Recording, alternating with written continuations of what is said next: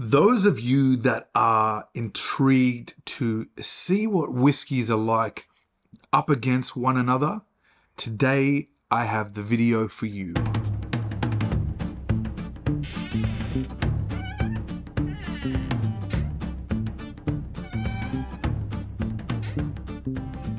Fellow malt lovers, welcome back to another Versus Challenge on McIntyre's Malts.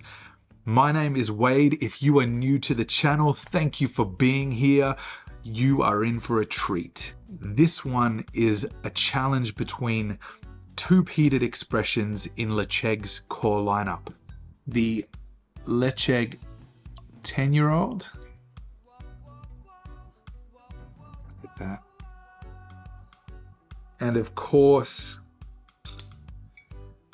the Ledaig Sinclair series. All right.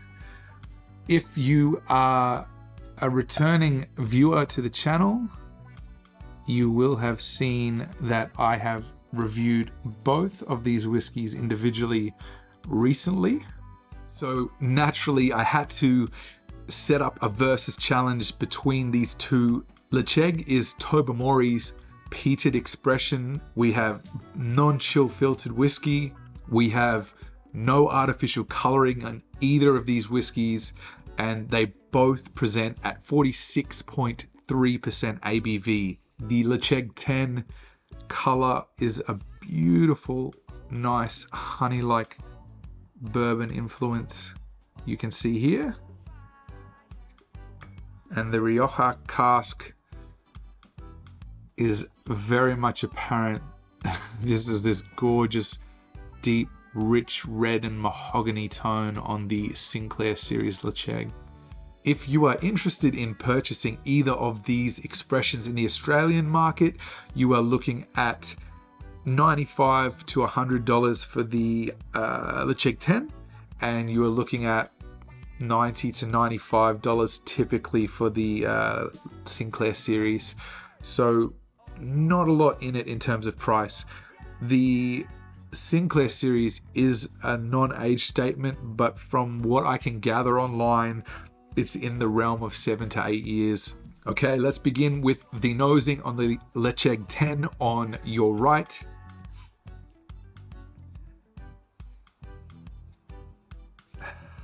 And it's good.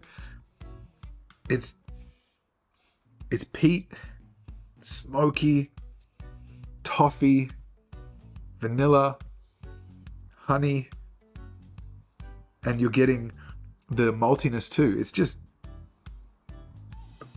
I really like the sweet nose on this, right?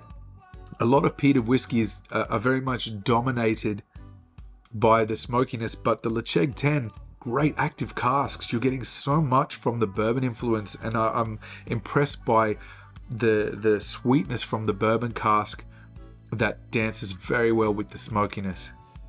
Let's nose the Ledaig Sinclair series.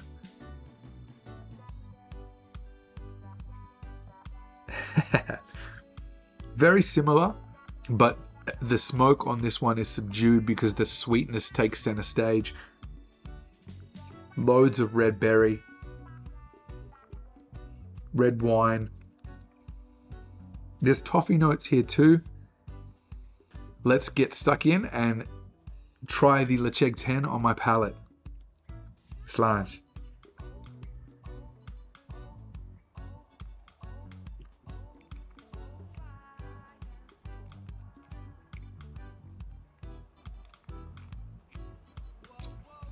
Yeah.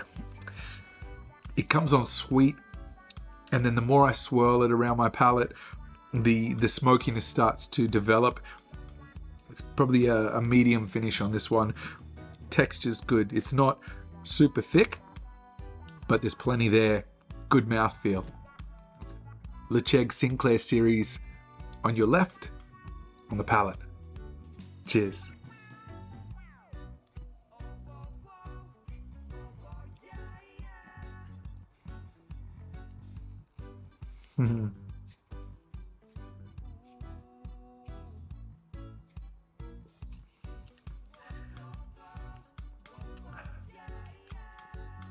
it transitions different. This one goes from a light sweetness and then comes in smoky on the mid palate. Uh, gets sweet again at the end, more sweet. Almost like cherry pie. Like I've got pie crust, you know, like the crunchiness, almost like even a rhubarb crumble with with like sprinkled raw sugar on top. There's a sweetness, the tartness. That's what I was looking for before from the wine. It's it's tart, right? Uh, cranberries. You know that sort of. You you know that what I'm talking about. It makes you sort of suck your cheeks a little bit, right? That's that's what I'm getting on this one. If you like, like I do, a combination of or a contrast with food and drink, right? And and when I was a chef, that's what we were taught. Express two sides to the flavor profile. This is why I love these whiskeys. You get a perfect balance on both of sweet and smoky, but from two different cask influence. You've got a sweet vanilla toffee on the Ledaig 10 here, and then on this one you've got the the red berries, the red wine, the cherry pie. It's cool. I love this stuff. All right, I need to nose them each once again. Final sip and finish on the palate, and then we're going to determine the winner of today's versus challenge. All right, Ledaig 10 on the nose.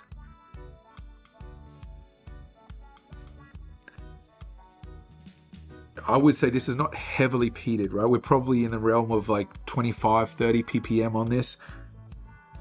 If you know the exact specs on this, put it in the comments under the video. A sweet and smoky whiskey without it being sweet sherry. It's it's it's lovely.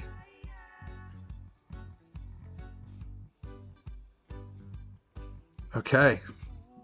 Let's now try the nose one last time on the Sinclair Series Ledaig.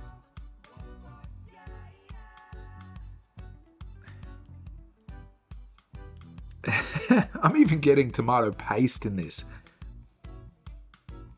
There's some acidity, right? Sweet, tart. The smoke is there, but it's more prominent on the palate than the nose. And then, yeah, the acidity like a tomato paste, a good contrast, right? Final sip on the Ledaig 10. Cheers, guys.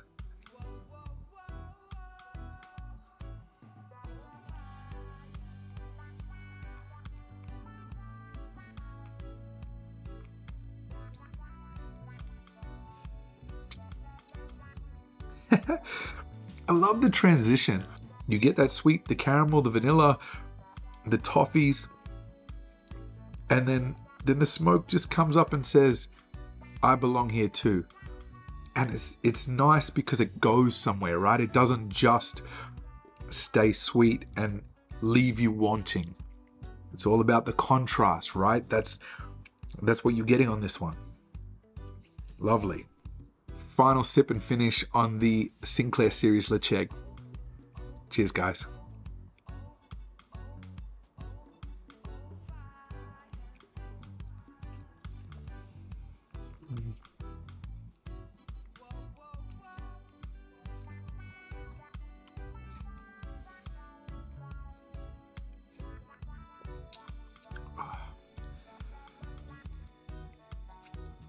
Oh man, this one's tough. This is really tough to to make a call on these because they're they are two different things. They are both equally good in my book. How much we got left?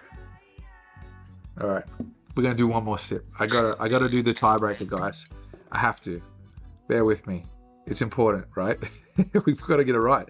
We've got to get it right. If if we do this wrong, you know, I, I can't have that the repercussions of this. I can't. Buy them both, okay? Buy them both. That's the that's the solution. Buy them both. I did. All right. Sinclair series. Let's try.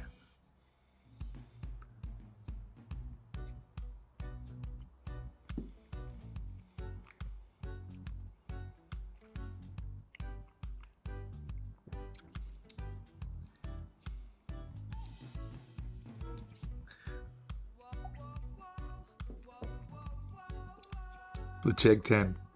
Final sip. Final, final sip.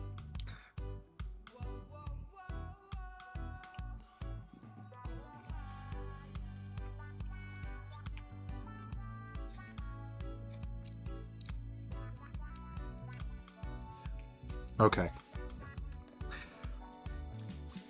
When you try these side by side, you can absolutely tell they are versions of the same thing. The Sinclair series feels like an addition to what's happening here, which it likely is.